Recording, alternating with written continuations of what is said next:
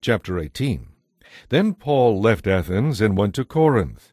There he became acquainted with a Jew named Aquila, born in Pontus, who had recently arrived from Italy with his wife Priscilla. They had been expelled from Italy as a result of Claudius Caesar's order to deport all Jews from Rome. Paul lived and worked with them, for they were tent makers just as he was.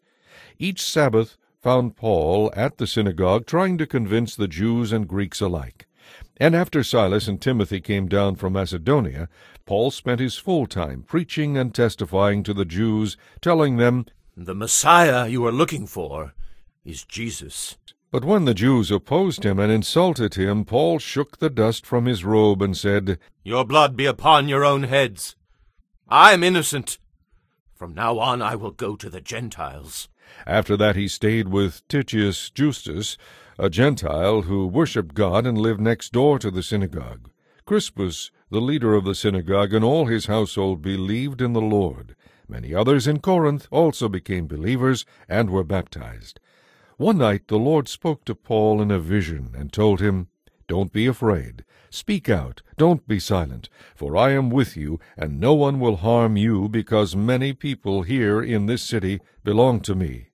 So Paul stayed there for the next year and a half, teaching the word of God.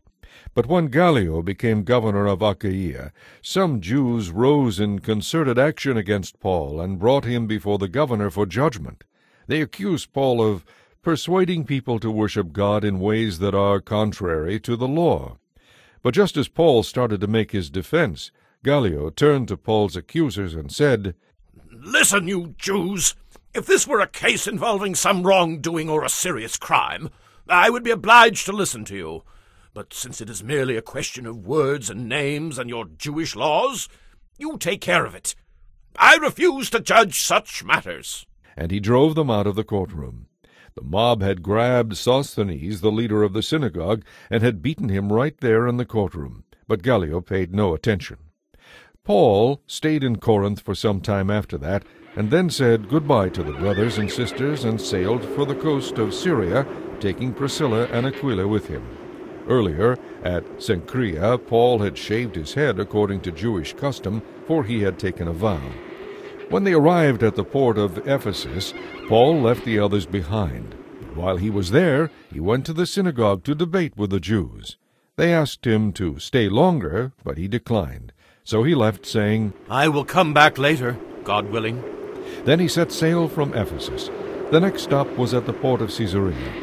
From there he went up and visited the church at Jerusalem and then went back to Antioch. After spending some time in Antioch, Paul went back to Galatia and Phrygia, visiting all the believers, encouraging them and helping them to grow in the Lord. Meanwhile, a Jew named Apollos, an eloquent speaker who knew the Scriptures well, had just arrived in Ephesus from Alexandria in Egypt. He had been taught the way of the Lord and talked to others with great enthusiasm and accuracy about Jesus. However, he knew only about John's baptism. When Priscilla and Aquila heard him preaching boldly in the synagogue, they took him aside and explained the way of God more accurately. Apollos had been thinking about going to Achaia, and the brothers and sisters in Ephesus encouraged him in this. They wrote to the believers in Achaia, asking them to welcome him. When he arrived there, he proved to be of great benefit to those who, by God's grace, had believed. He refuted all the Jews with powerful arguments in public debate. Using the Scriptures, he explained to them, The Messiah you are looking for is Jesus.